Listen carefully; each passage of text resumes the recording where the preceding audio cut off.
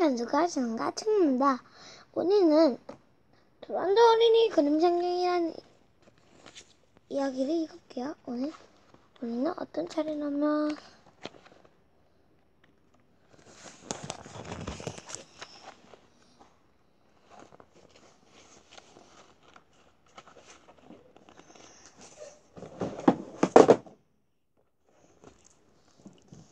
요괴버시라는 여인이 신니까 아기를 낳았어요.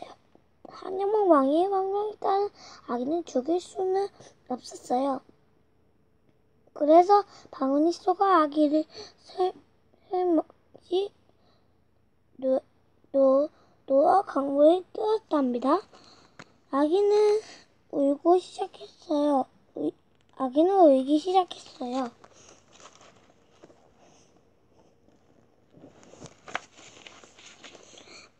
앞구리는 마침 외국망의 마을의 공주 눈에 뜨어 있었답니다. 박은혜 여러분 공주는 아기를 그만 들러 올려 꼭 안고 속삭였어요. 난 널 지켜줄게.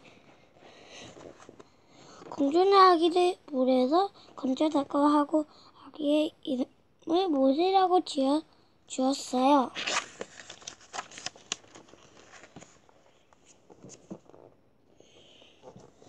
아기는 큰 누나인 미리암이 근처에 지켜보고 있었지요. 미리암은 공주에게 말했어요. 공주님을 도와서 아기를 돌봐줄 한 말을 좋은 여인이 있어요. 미리암은 얼른 달려가 아기의 엄마를 데려왔어요. 아기의 엄마는 요게 배는 정말 기뻤답니다. 아? 모세는 소년이 되자 요기백 공주애를 그를 보냈어요. 요셉은 왕국에서 자라게 되었지요.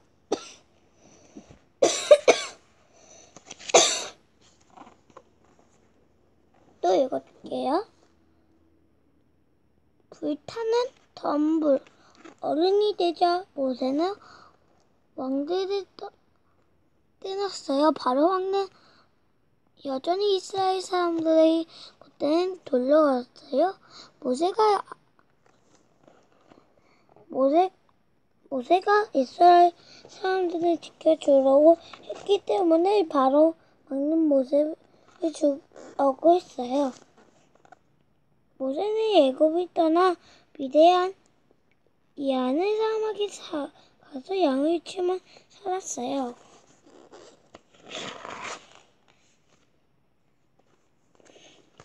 하지만 절 말씀지가 없는 걸로 투덜거리는 모세에게 하나님의 말씀을 썼어요. 걱정 말아라. 내 형의 아들이 있는 아니냐? 말씀을 좋은 형들은 내 거리에 붙여주겠다.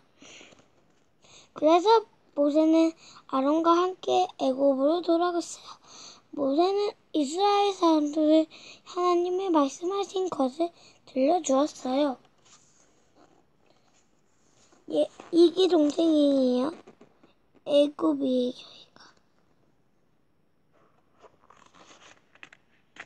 예.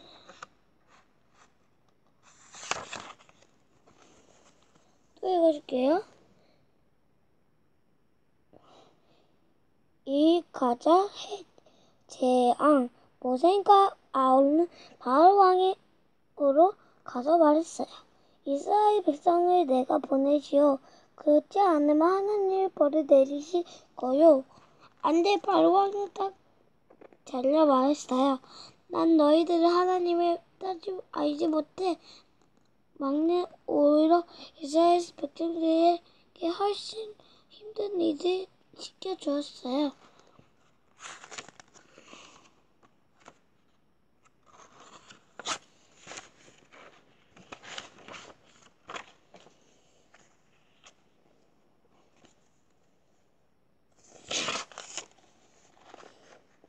하나님께서는 마음에 얹으셨었어요.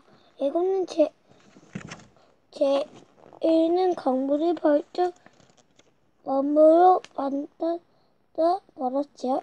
그는 정말 개치지 않았답니다. 어, 어림없어 절대로 보내주지 않을 거야. 그러자 하나님께서 개조일 때를 보내셨어요. 의자 위에도 침대 위에도 중중마다 보내셨어요. 위에도 걸었어요. 애굽은 아수리장이 되고 말았지요. 왕는 걸었어요. 아수리장이 말고 왕는 하는 수 없이 이렇게 말했어요. 개구리 떼를 쫓아 주면 을 죽여주겠다. 그러면 하나님의 개구리 떼를 쫓아 주셨어요.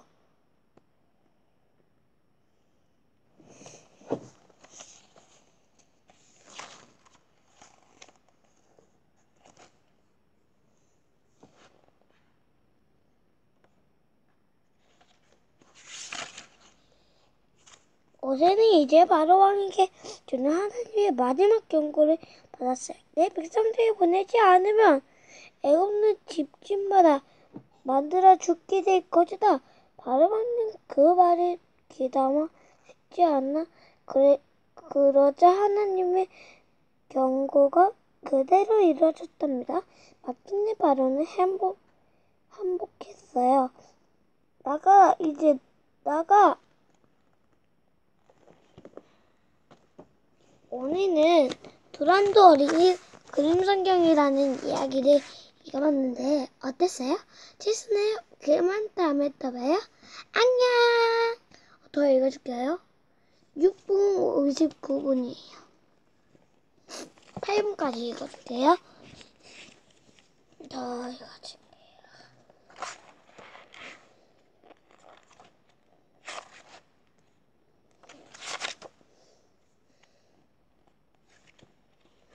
어디죠? 여기 있고 홍학. 홍학이라는 이야기를 홍학이라는 이야기. 홍학. 홍해. 출애굽기 14장. 모세는 이스라엘 백성들을 이끌고 어, 애굽에서 나왔어요. 하나님은 낮에는 구름 기둥으로 밤에는 불 기둥으로 이스라엘 백성들을 이끌셨답니다.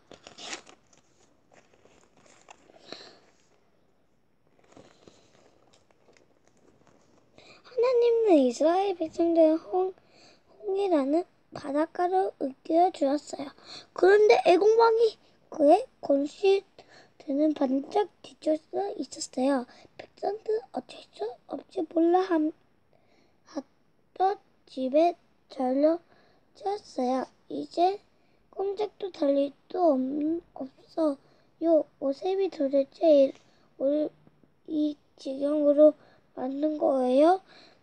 하나님이 지켜주실 거, 거요. 그러자 그, 구름이 이스라엘 백성과 바로 왕의 군대를 사이좋게 길어 주었어요. 애굽은 군대 아무것도 볼 수 없었답니다.